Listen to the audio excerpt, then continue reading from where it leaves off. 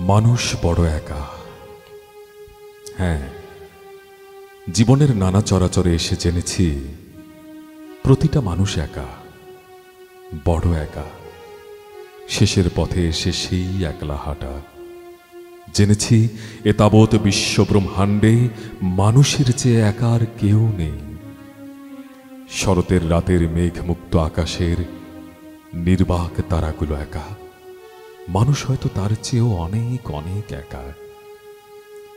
এই সীমাহীন মহাবিশ্বে এই প্রাচীন পৃথিবী এক নিঃসঙ্গ গ্রহ।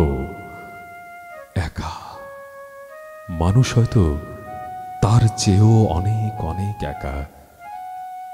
সমস্ত দিনের অভিনয়ের পর রাতের নিস্তব্ধতা নেমে এলেই খোলস ভেঙে বেরিয়ে আসে মানুষের ভেতরের সেই নিবিড় আসল একাকী মানুষটা। বড় নির্দয়ভাবে তাকে গ্রাস করে এক এক ভয়াল ধুধু নিঃসঙ্গতা। মহাবিশ্বেরও হয়তো সীমা থাকতে পারে, কিন্তু মানুষের মনের কি কোনো সীমা আছে? না, নেই।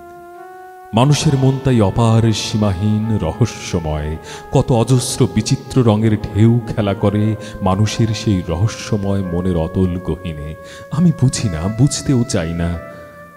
বুঝতেও চাই না তোমার মনের সেই ঢেউগুলোকে। তুমি বোঝো না, বুঝতেও চাও না আমার মনের সেই বিচিত্র ঢেউগুলোকে। অতি কাছ থেকেও তাই আমরা পরস্পর থেকে যাই এক আলোক বর্ষ দূরে। অচেনা, শেষের পথে এসে আমরা আমরা প্রত্যেকেই হয়ে যাই সেই একা। আমাদের রক্ত মাংসকে বিভৎসভাবে গিলে খায় সেই ভয়াল রহস্যময় ধুধু নিঃসঙ্গতা।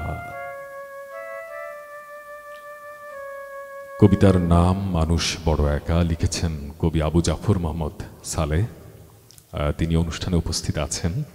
কবিকে ধন্যবাদ।